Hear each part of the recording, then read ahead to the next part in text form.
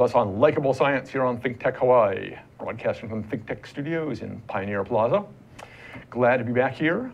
Uh, Ethan Allen, your host, and uh, we're going to be talking today with a, uh, about something that we can't even see, viruses. And I'm going to be talking with Dexter Poon. Hi. Welcome, Dexter. Hi, Ethan. Glad to have you on the show.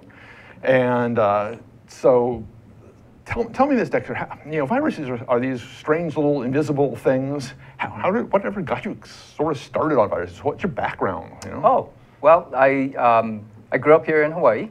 Uh, went to McKinley High School. I got to put a plug into that. Okay, good. Um, then went off to college, um, and then I came back as a uh, to work in uh, with the State Department of Health oh. as an environmentalist, and then I decided to go to graduate school.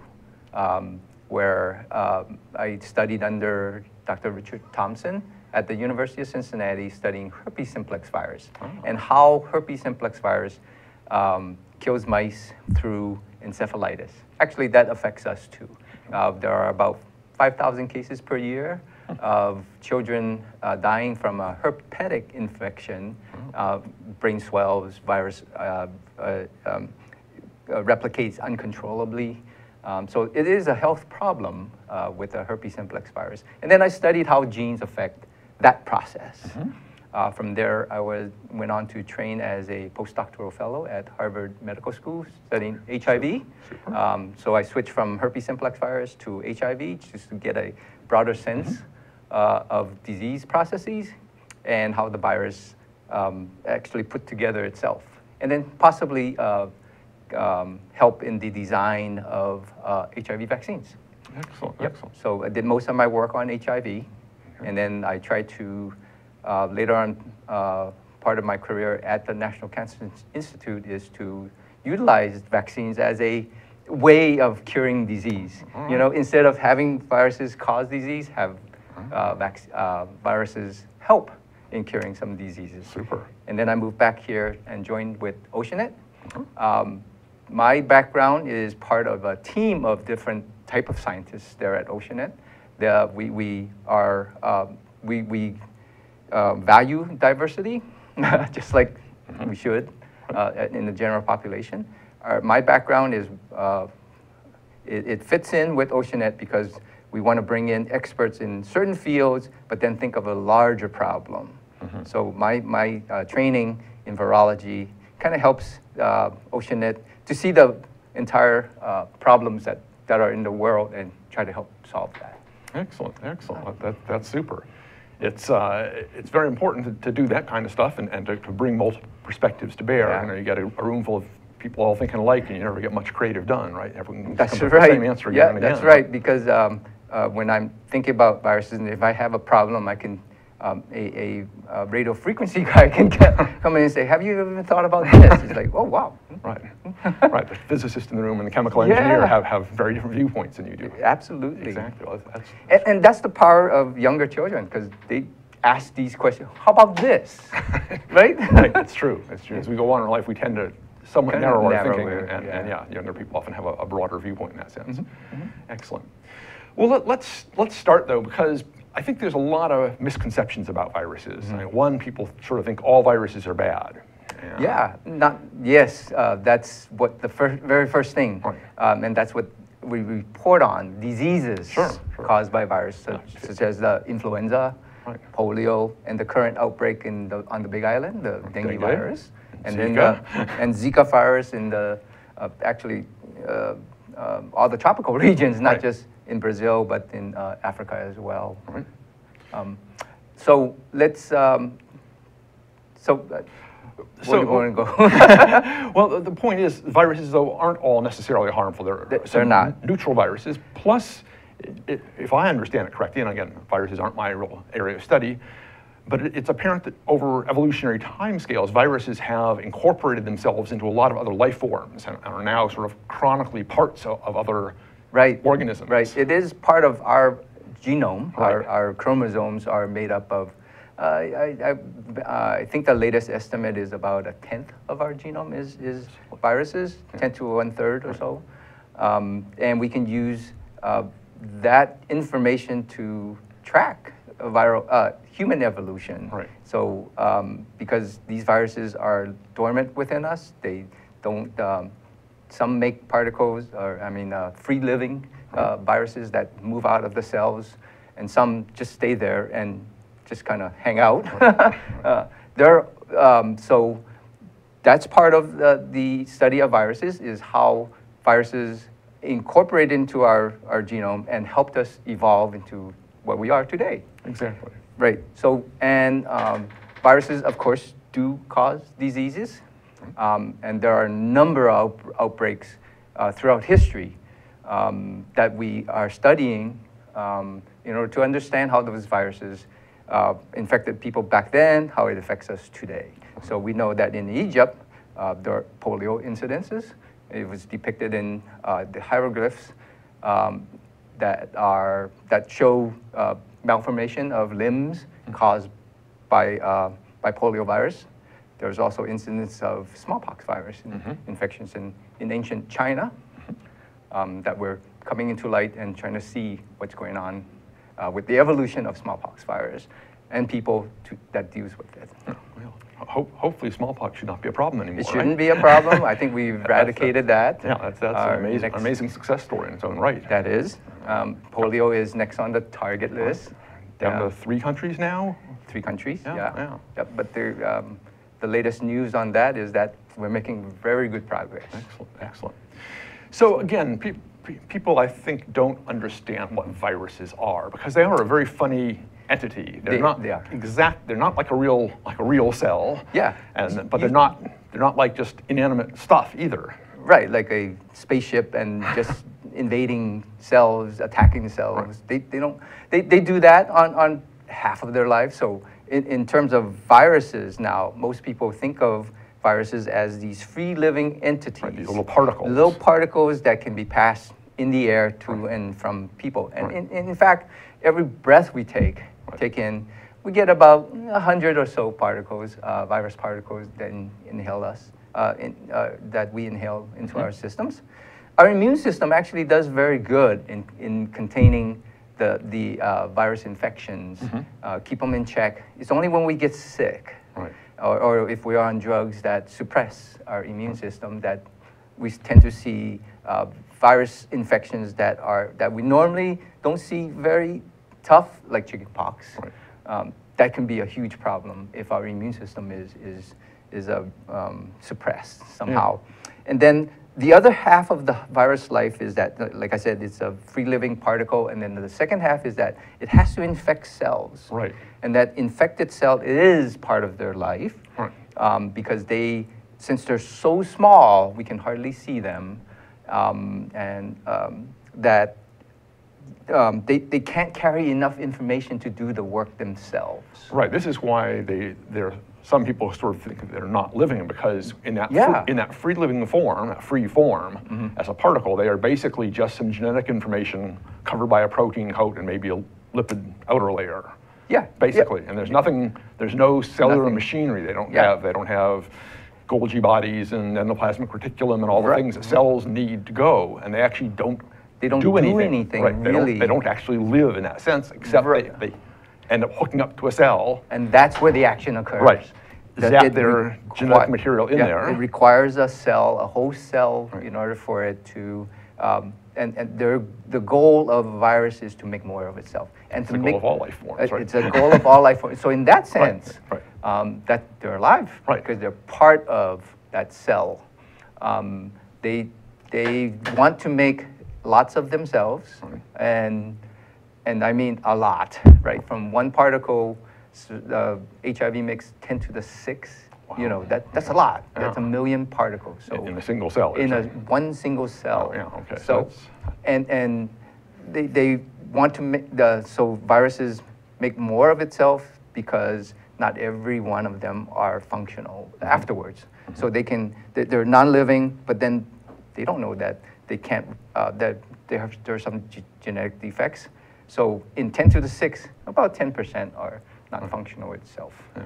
So this is uh, sort of a classic example of uh, Richard Dawkins' selfish gene hypothesis. Selfish gene, right? The- make more of itself the so viral, that viral some gene, yeah, the viral will- gene is just purposely Right. Using its host cell to manufacture more of itself. Right, right. And basically, they, they sort of they co-opt the cellular machinery. The cell is usually sitting there trying Yeah. to make more of itself or to live right. and do its normal functions. Yeah, functions. and then that range, uh, viruses can range in a full spectrum. It can be benign, you know, Right. it just kind of hangs out there like quietly. quietly, like uh, and integrate into the genome like a retrovirus, Mm-hmm.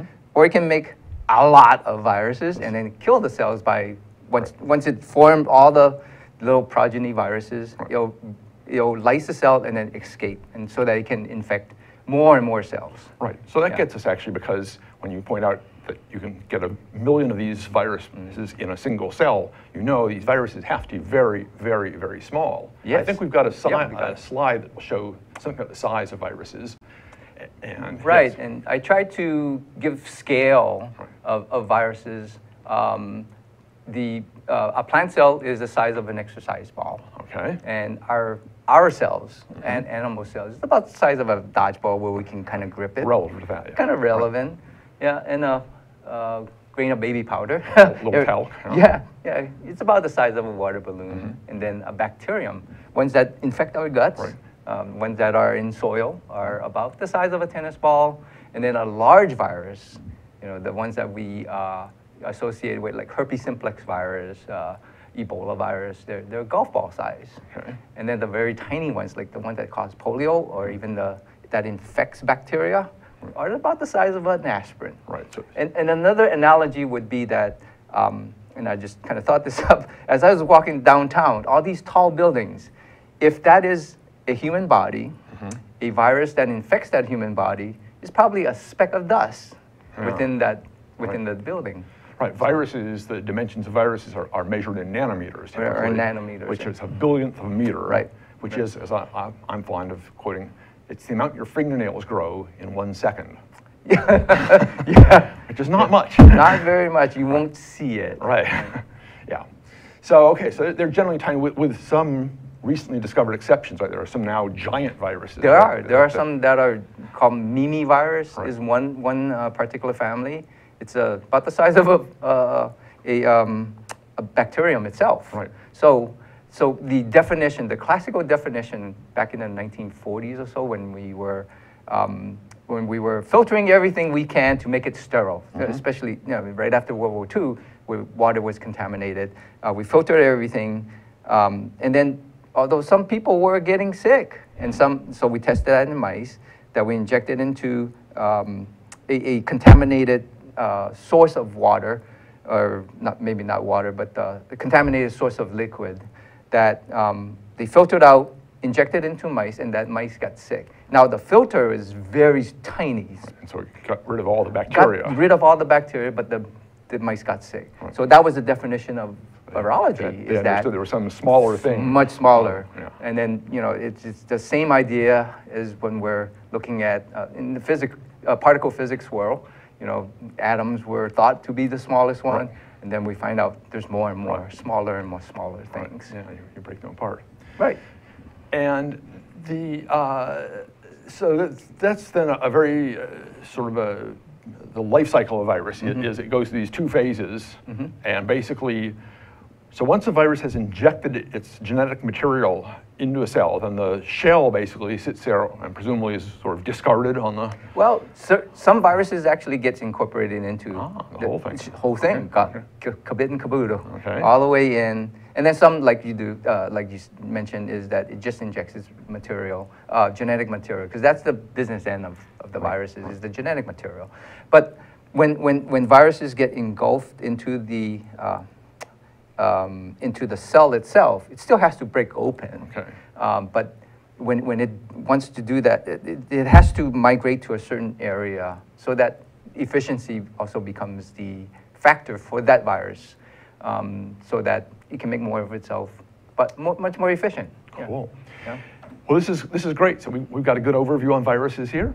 We're going to come back and talk in more depth about your work that you're doing and why you do it, what you do, how you do it. Um, Okay. But that's going to be in a minute. Right now, we're going to take a short break here.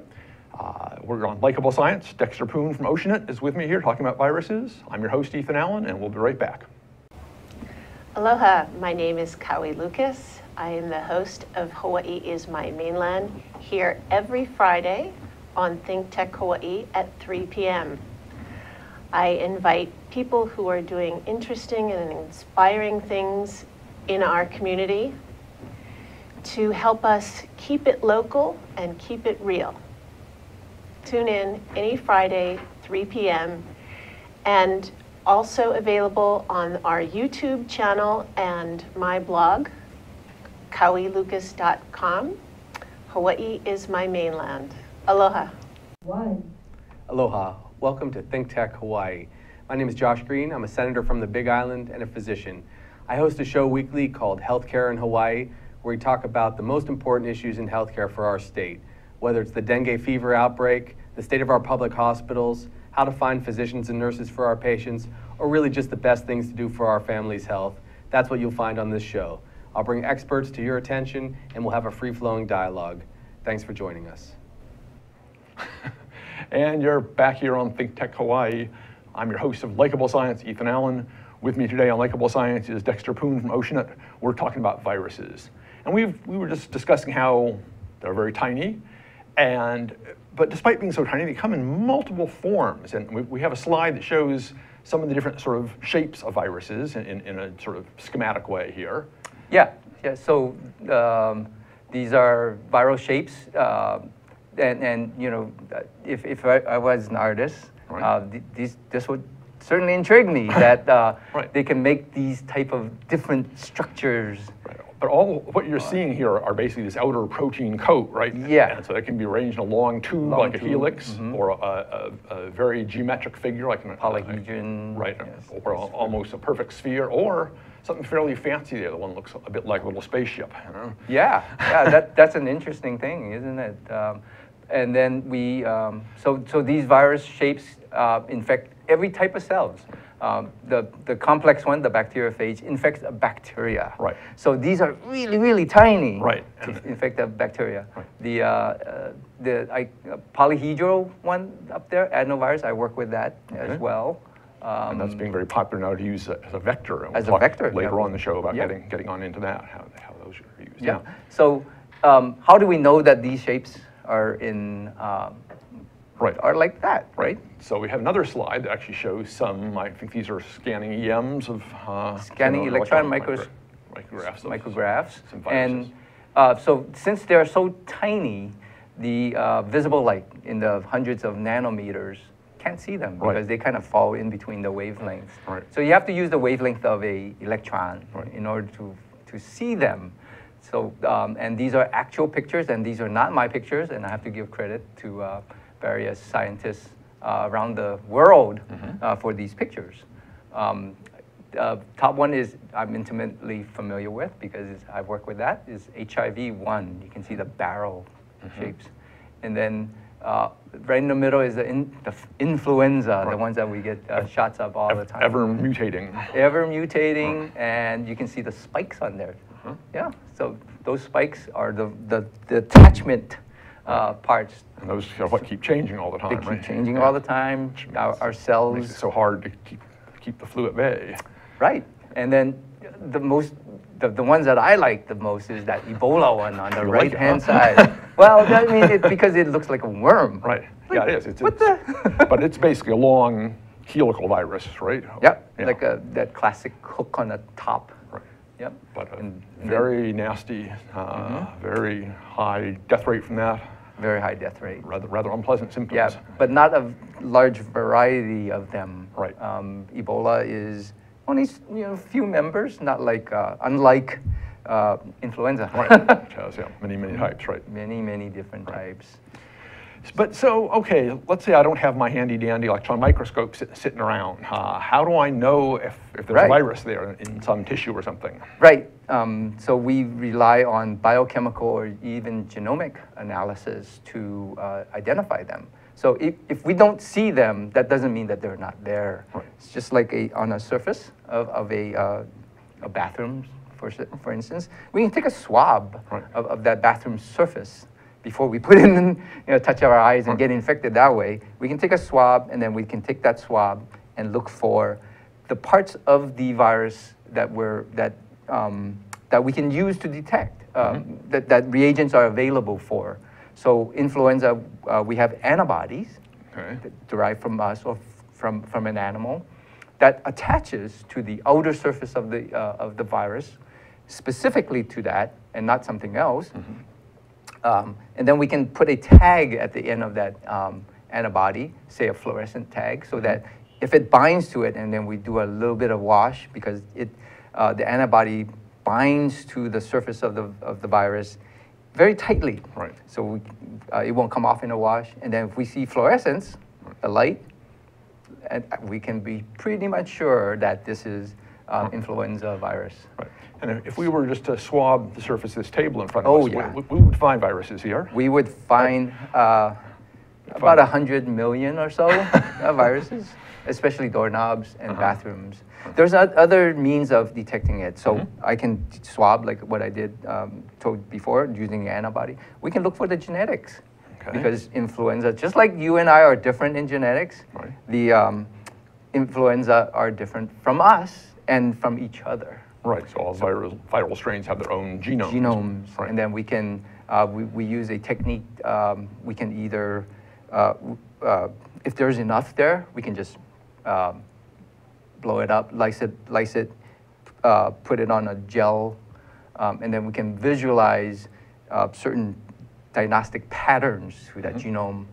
If there's not enough, then we use a technique called PCR, polymerase chain reaction, where we amplify millions of copies from that one or two or 10 or 100 uh, copies of that influenza virus genome. And that million that we amplify, we can test. Right. Right. Gives you enough to, to sort it out and Yeah. figure what Yeah. it is. Yeah. Cool. So th- th- those are other ways besides the electron microscope to really Yeah. tell what virus you have if you have viruses there. Yes. So, so what is it? So what is a what does a typical day for you look like? Oh, well, we, we, uh, I, um, Swabbing things. well, we, we take water samples and, Okay. and then we can test for bacteria, excuse me, uh, bacteria or human viruses present in that water sample um, to see uh, where, where the source of contamination, or is it human versus something else? Okay. Uh, that, that's uh, one of our um, uh, services at Oceanet. Okay. Um, we're also getting ready to look at an infection in tilapia, uh, aqua, in aquaculture. Um, they are, um, it's Franciella, and we can, uh, we, we, we see the disease, uh, but we also want to make sure that it is the bacterium that is causing that disease. Uh-huh. Yeah, so th- that's an up, up and coming uh, uh, project. Uh, we're also looking at HIV vaccine, Okay. um, and we'll talk about that uh, a little later on, Okay. and and and the how we can use viruses Mhm. uh, as a means of uh, therapy. Yep. So uh, we also are interested in developing different diagnostics for viruses or even bacteria, Right. It's useful to be able to detect them quickly, Very- cheaply, simply, but accurately. but accurately. Right. Yeah. So uh, one of the worst things that we as scientists uh, don't want to have is what we call false positives Right. or false negatives. So, so we want to be able to say that I have confidence in our assay.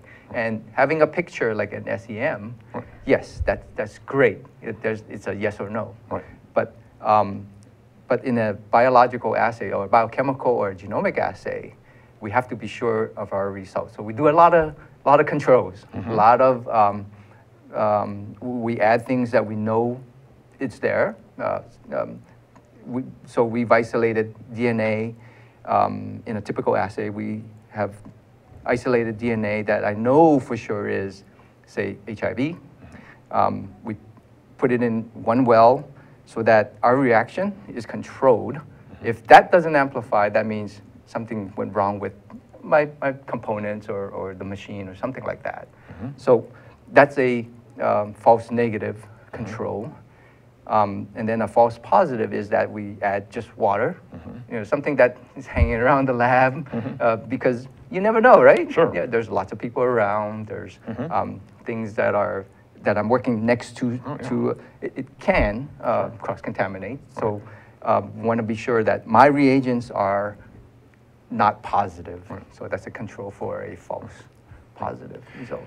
So we, we were talking a little bit before the show about, about believing in data, which just seems like Yeah. a, a good a good segue here. Uh, and, and we each sort of said we had we had a story about Yeah, about, about yeah. data and, and believing in your data. So uh, what, what Wha- One of the things that uh, I was working on in um, at the National Cancer Institute at the AIDS vaccine program is that where we wanted to make a virus particle that is devoid of all the genome. So, but everything looks the same. Um, it's like a golf ball, but hollowed out, or an egg hollowed out, just a shell there. And the reason for that is that because it's hollowed out, it looks like a real virus and then our immune system should react to it.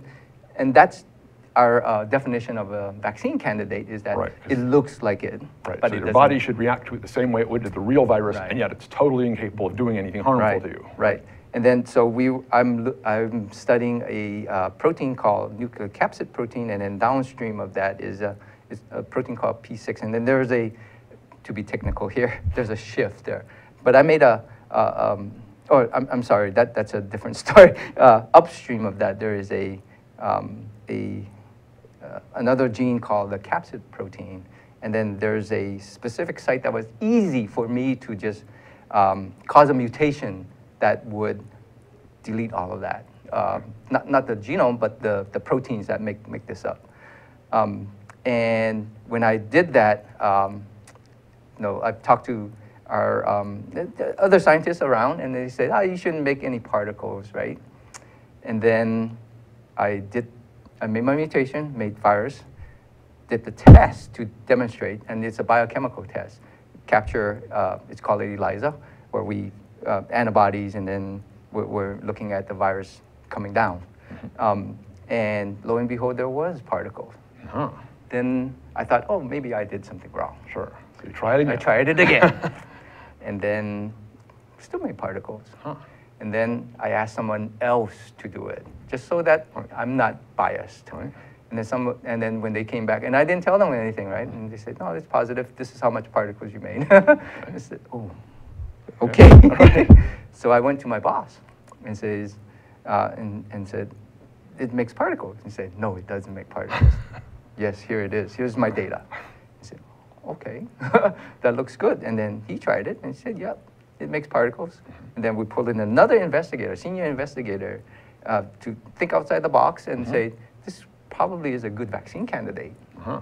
So lo and behold, I think uh, we, um, we went forward with that. Uh-huh. 'Cause it's, it's making something something Yes. that looks like a Yep, particle at least. When What- everyone said it shouldn't. and, and yet it doesn't have the genomic or the genetic capability of, it- of doing an infection. Yeah. That's, that's, that's amazing. Okay. Yeah. Yeah. But you, you, you I you- believed in my data. Yeah, absolutely. But I did everything I, uh, to show that the data is believable, so Right. that I can convince someone else. Right, right. yeah. Yeah. So a very, very much lower level, a very, very simpler thing. So I spent six years of my life training fish to approach illuminated targets. I was looking color vision in fish, and so I would give them different Wow. colored targets, one lit up and one not lit up. Uh-huh. And I had done this across the vis- visible spectrum from red, uh, from red light down to blue light, basically. I was getting on in my data collection for my, this is for my doctorate, and I realized in looking at my data, I needed more data out at the red end of the spectrum. Oh, okay. So I took one of my subjects who had been a very good subject. She was very reliable. She was very good, behaved well, but I had done all of her work had been in blue to green light. Okay. So one day I just switched her over and gave her red light and figured, you know, this this will be fine. She's she's a great subject. She she knows this test. I made it real bright at first, so it should be a real obvious distinction for her, you know, and you know, sort of plugged everything in, started the, the test, walked away from it, came back and looked at my data, and this fish was getting 0% right. Hmm. That is, light would come on over here, and she'd go over here. Light would come on over hmm. here, and she'd go over here. 0%. Ve- ve- Very, selecting very carefully the wrong target. Wow. And I was like, this makes no sense. I Correct. checked all my connections to be sure I had things wired up properly. And the next day I watched her, and sure enough, you know, light would come on here, she'd go here. Light would come on here, she'd go here. Hmm. I was very puzzled by that, and she was getting quite frustrated because she wasn't getting any food either. she only got food for the correct response. Ah. Um, so the next day I put her back on blue light just to check, and sure enough, she was doing virtually 100% perfect. You know, light here, she'd go here, light went over here, she'd go here, you know. Mm-hmm. Put her back on red light the next day, and sure enough, light would go on here, she'd go here, vice versa. I was really puzzled by that. Mm-hmm. And I said to myself, if I put yellow light on, not, mm. not red, not blue, but yellow. Mm-hmm. She'll do something odd. I just know she's going to do something weird. And I put yellow light on, and she would come into her tank, and she would just stop. And she just hung there. And she could not make a choice. Literally, my, my data, she timed the whole device out. It gave her 10 seconds to make the choice. And every trial, she just timed it out. She would just hang in the middle of the tank and couldn't choose. And I realized that at the end, my data was telling me that she had learned a color discrimination. She had learned to approach the bluer target. Ah, yeah, yeah. And yeah. so when I gave a red light, the non-illuminated target looked bluer basically than the red target. Yellow, it didn't really matter to her. Like, she couldn't make that choice, you know. Ah. So it was, again, it's looking at your data and believing in it. You know? In your Yeah. data, So right. They, they don't don't lie to you, you know. Right, right. You got it takes you where, where you need to go. Exactly, exactly. Hey, on that note, I think maybe we'll go and take another break here, and uh, then we'll come back. Uh, I'm Ethan Allen, here with Dexter Poon from Oceanet, talking about viruses, and we'll be back after a short break. Hi, I'm Jay Fidel. That's Ted Ralston. You know, Ted is the uh, host of uh, Where the Road Leads. It shows uh, every Friday from 4 to 5 p.m. Sure, It's about what you technology. It's about how people collaborating and solve problems with modern technology. It's where the road leads. We all know that. We should all be listening. Join us there, 4 to 5 p.m. every Friday. Now, what about that do you agree with? All of it. I knew he'd say that. Aloha. Say aloha. Aloha. Good. Aloha, namaskar, and hello. My name is Anu Hittel, and I host the show called Climate Change Beyond Outrage. We go beyond outrage to find solutions to climate problems facing people, nations, and the world. I hope you will join me here every Tuesday at 1 o'clock. We broadcast live from thinktechhawaii.com. Aloha and bye bye. And you're back here on Likeable Science. I'm your host, Ethan Allen. With me today here in the Think Tech studios is Dexter Poon from Oceanet, a senior biomedical scientist who studies viruses, and that's what we've been talking about. Um, during the break, we saw we, we had a tweet here. You can always tweet us at, at ThinkTechHi, it's at ThinkTechHI. And Alicia Wood Charlson uh, writes us about what are, what are viruses, how do they live? Um, and it's, it gets actually back to our, what we were talking about a little bit earlier. They have that sort of two-phase cycle. Yeah. When, when they're a, a particle, a separate independent entity, they can basically exist for some fairly long period of time, right? I mean, they're not really metabolizing anything. Right, it depends on the virus itself. Okay. Uh, because it's all about the outer coat. Sure. And that outer coat, if it's complex, like a, like a polio virus, and if it's small, like a polio virus, it can exist for a long, long time in that free particle state. When you say a long, long time, you're talking weeks, months, years? Weeks. Oh, okay. Um, they can live in the refrigerator, or I'm, I'm sorry, the uh, freezer, uh, ultra low freezer, for indefinitely almost. Um, there are samples like smallpox that are being frozen um, that you can just thaw out and infect a cell. But so the the free particle part can exist in the right conditions for millennium. Um, there, uh, in that free state, um, there are some, uh, depending on the virus, like I said, that it, it does not, it is not suitable for it because the lipid bilayer is, is mostly coming from our cells. It's lipids.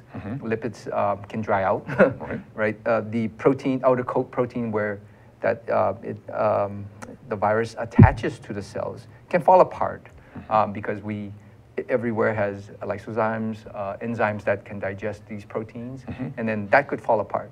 If it can't attach to the cell and, and does its business, then it's not going to survive. So in, in that sense, uh, influenza virus, uh, HIV virus can last minutes to an hour or so um, out in a surface Okay. any surface. The second half of its life is within the cell, and that's where all the actions occur. Right. Um, and, and they are alive in that sense because they're utilizing the cell's metabolism, the cell's replication cycle in order to make more of itself.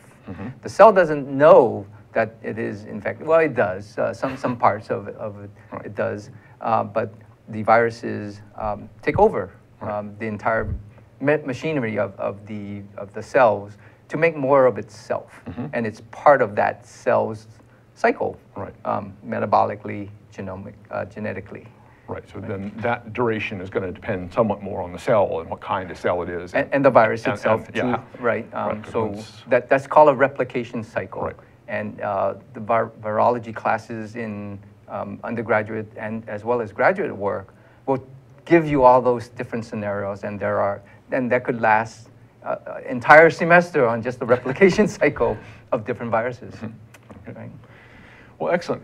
So viruses are now actually being sort of, we've, we've, viruses have co-opted our cellular machinery and the Mm-hmm. cellular machinery of all kinds of other organisms, but now we're actually sort of co-opting viruses, right, for some of our work. Oh, yeah. And, and you're, you're actually working on some of this stuff, right? Yes, uh, viruses is an important tool in our chest, uh, war chest of uh, attacking different type of diseases. And I think we have a Sorry? slide. I think Oh, we have a there- oh, slide there we go. for it. Right, okay. So um, how, using viruses, some, some of our strategies in using viruses to as a medicine um, is that you know antibiotic resistance. How do we kill uh, bacteria? Well, we can use the bacteriophage to kill that bacteria because bacteriophage will, once it's replicated, uh, make many, many copies of itself. It'll kill that bacteria and it has to be released. Um, the second, it's the same idea with the second part, killing tumor cells with a lysogenic virus.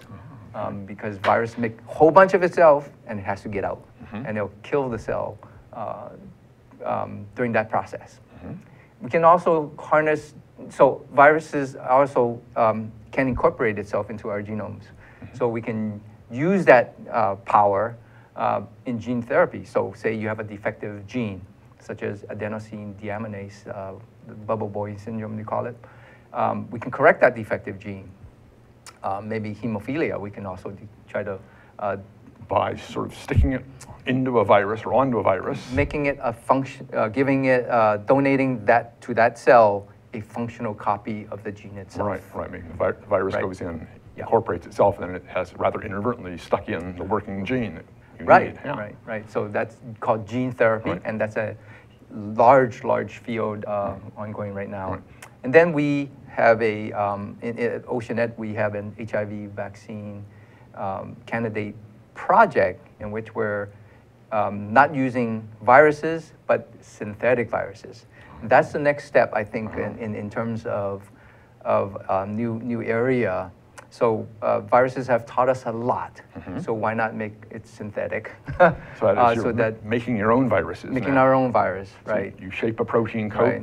And And, and there's there's a number of reasons for doing that, uh, because viruses are target specific, so they bind to a certain cell. Um, adenovirus will bind to the CAR receptor, um, uh, cellular adenovirus receptor. Uh, HIV binds to CD4 first, and then, C, uh, and then the CC uh, cytokine receptors uh, next. So in synthetic virus, well, we can put that on, you know, those, those type of receptors on the virus so that you can make it modular, like a Legos type okay. of deal.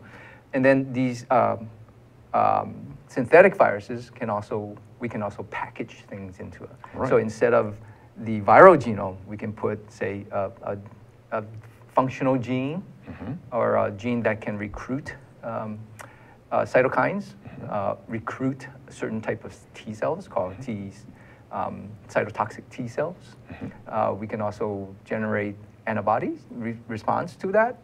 So uh, put on uh, something that it doesn't uh, like a viral like a viral protein like um, like a herpes uh, glycoprotein on the surface, so that when our immune system system sees that tumor, um, it'll recognize it as being infected Ah. uh, with say herpes, Okay. and uh, it'll clear it for, for you.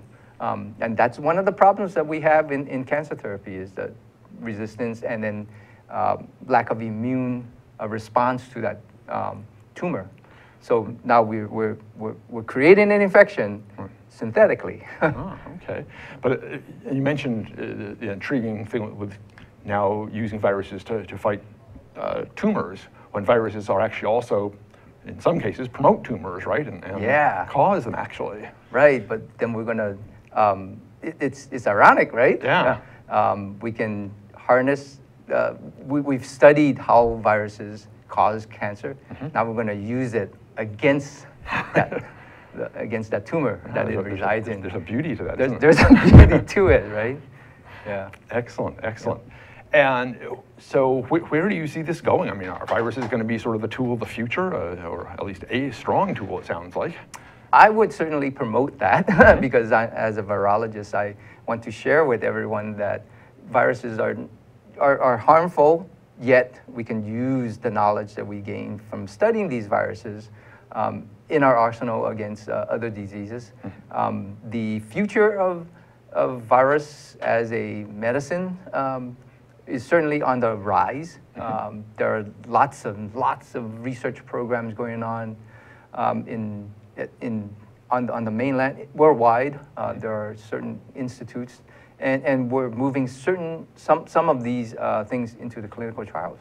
So we'll see in the future, and I certainly do hope that viruses are better understood, more work be done, and then um, much more work to how to harness that into a, um, into a product that uh, will, will help human health. Right, but it's a very tricky business, right? Because again, this gets back to this fundamental question of what a virus. When, when you get particularly these sort of quiescent viruses that, that go into a cell, embed themselves in cellular uh, genetic machinery, and then sort of sit quietly for years in some cases, like like some of the herpes viruses, right? So how do you you know, how do you get those? things? How do you find them? Because Right. they're, they're now they're just part of a seemingly normal-looking cell, right? Yes, um, but since they're hanging around indefinitely, let's put them to work, right? Uh, so uh, herpes virus, um, it, it, it f- uh, infects neuronal cells specifically. Uh, it resides as a circle, and that circle, um, herpes is, uh, we can take out some, what we call non-essential genes. We can take those out and then put in essential, uh, not, sorry, sorry uh, donate extraneous genes or genes that, um, say, uh, once we find out what, um, how, how Alzheimer's develop, we can put in that medicine type of gene to combat uh, at, um, Alzheimer's disease.